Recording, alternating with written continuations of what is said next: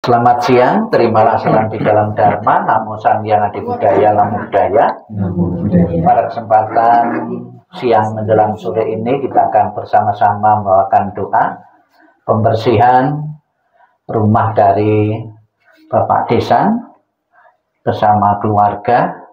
Kita lakukan doa-doa apabila ada anak-anak yang buruk yang tidak bersahabat yang akan mengganggu ketentraman, kenyamanan rumah tangga Bapak desa sekeluarga dengan doa, dengan timbunan kebaikan dan juga niat baik kita semua mendukung pelaksanaan doa ini. Apa yang menjadi harapan Bapak desa akan menjadi kenyataan rumah ini akan menjadi rumah yang tenang, nyaman untuk membangun kehidupan rumah tangga. Dan apabila ada anak-anak yang buruk yang akan mengganggu ketentraman, kenyamanan dengan doa, dengan pemecikan tirta suci, semoga kekuatannya akan menjadi netral. Marilah dengan penuh keyakinan kepada Tuhan Yang Maha Esa, para Buddha dan para suci kita bawakan doa pembersihan atau blessing ini dengan hikmah. Untuk mengawali pembawaan doa, marilah kita bersama-sama menghormat di altar Buddha, Dharma, dan Sangha dengan buka setengah badan sebanyak tiga kali. Hormat pertama, hormat kedua, hormat ketiga. Dibuka halaman 4, pujian air suci, halaman 4. Ya. Yang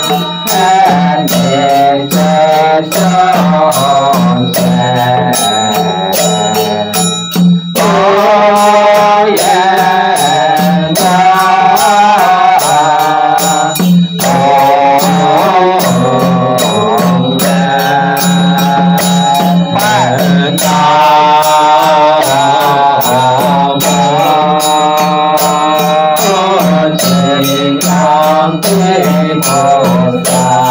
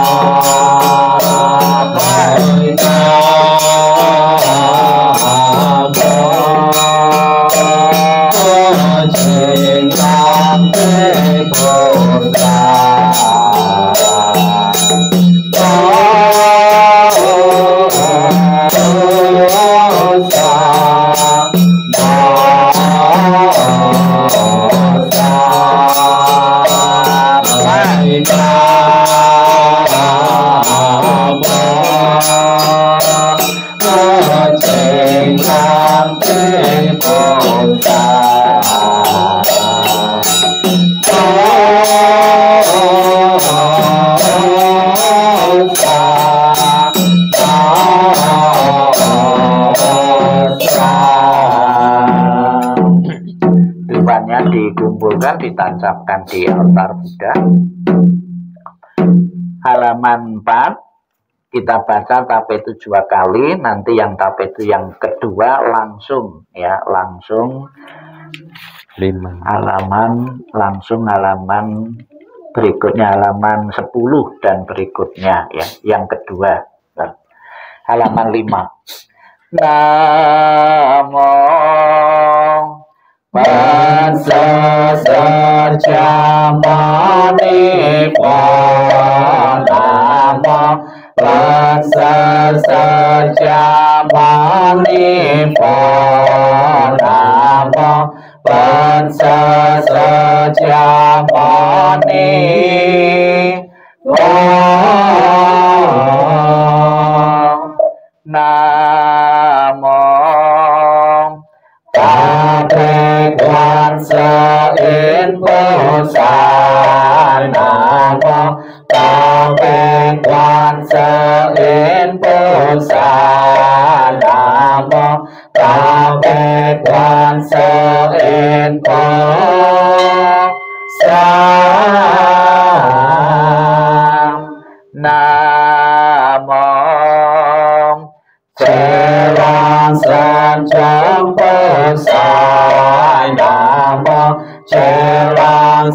Sancang Pesanama Cilang Sancang Pesam Nanti salah satu anggota keluarga mengikuti saya. Silakan duduk. Bakar dupa yang ketiga bakar empat tiga. Dupanya dibakar tiga namo la tam ta cho la ye ye nam mô a di đà phật la che te sa pha la ye con te sa ta pha ye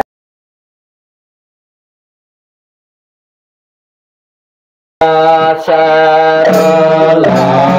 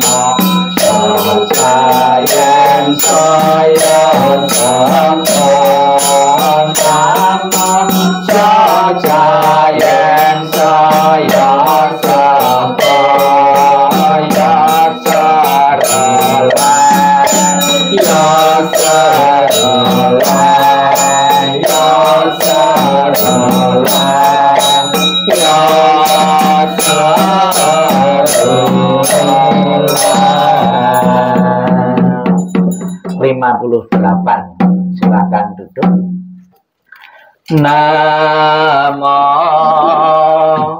Pansa Sajang Manipa Namo Pansa Sajang Manipa Namo Pansa Sajang Manipa Namo Syauta yang saya sapa Namo Syauta yang saya sapa Namo Syauta yang saya sapa Namo Rekwam Shantayan Saya Sarva Nama Shantayan Saya Sarva Nama Shantayan Saya Sarva Nama Rê Quang Biên Chó Vô Sa nam mô tuệ quang phiền cho vô xa, nam mô. Tuệ quang phiền cho vô xa, nam mô. Giới quang phiền cho vô xa, nam mô. Giới quang phiền cho vô xa, nam mô. Giới quang phiền cho vô xa, nam mô do sơ ha ve phó cơ sa đà mô. Do sơ ha ve phó cơ sa đà mô. Do sơ ha ve phó cơ sa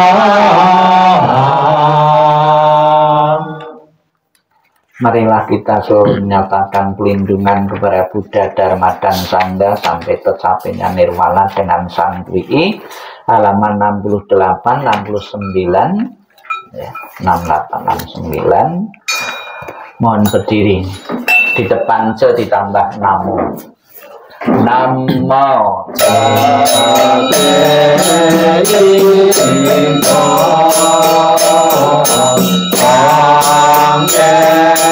có ông ta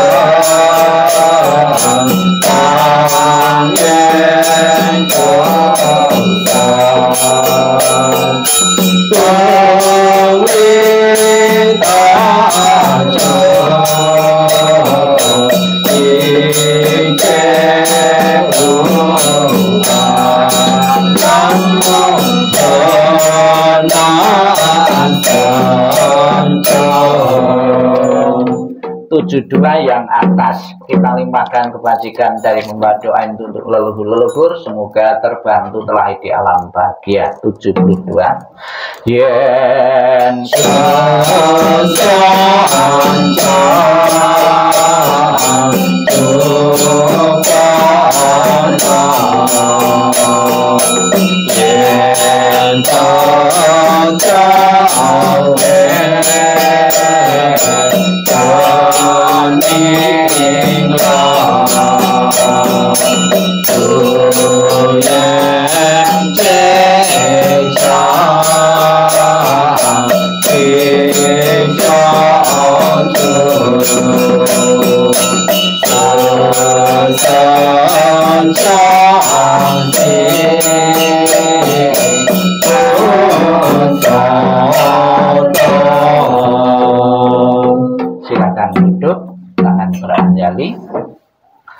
Marilah kita akan bersama-sama kembali panjatkan doa dan parita menggunakan bahasa Pali secara singkat. Semoga getaran Pancasila, getaran parita maupun dhamma ajaran Sang Buddha, kebaikan-kebaikan seluruh anggota keluarga akan segera mengkondisikan tempat ini menjadi tempat yang aman, tentram, untuk membangun rumah tangga tidak satu kendala dan halangan apa pun, gangguan-gangguan, baik yang kelihatan maupun yang tidak kelihatan. Marilah kita puji, kita muliakan Tuhan Yang Maha para Buddha, Bodhisattva, dan Masatwa dengan pujian wandana masing-masing tiga kali bersama-sama. Namo Sang Yang Adi Buddhaya Namo Sang Yang Adi Buddhaya Namo Sang Yang Adi Buddhaya Namo tassa bhagavato arahato sama sambuddhasa Namo tassa bhagavato arahato sama sambuddhasa Namo tassa bhagavato arahato sama sambuddhasa Namo sabbe bodhisataya mahasataya Namo sabbe bodhisataya mahasataya Namo sabbe bodhisataya mahasataya agar seluruh penghuni dan anggota keluarga mendapatkan ketenangan, kedamaian, dan kebahagiaan, kita bersama-sama menyatakan pelindungan kepada Buddha, Dharma, dan Sangha. Buddhang saranang gacami Dhammang saranang gacami Sanghang saranang gacami Dutiyampi Buddhang saranang gacami Dutiyampi Dhammang saranang gacami. Dutiyampi Sanghang saranang gacami. Tatiyampi Buddhang saranang gacami. Tatiyampi Dhammang saranang gacami. Tatiyampi Sanghang saranang gacami Marilah kita sejenak dalam sikap ning, sikap meditasi, kita pancarkan welas asih dan kasih yang kita punyai untuk seluruh anggota keluarga Bapak Desan. Semoga selalu berbahagia dan sejahtera dan juga kita pancarkan kepada makhluk-makhluk yang tidak kelihatan di tempat ini. Semoga tidak merasa terganggu kenyamanannya ketentramannya dengan akan ditempati rumah ini. Sikap ning, sikap merenung, sikap meditasi dimulai Sang Yang Adi Buddha, Tuhan Yang Maha para Buddha, Bodhisattva, dan Masatwa.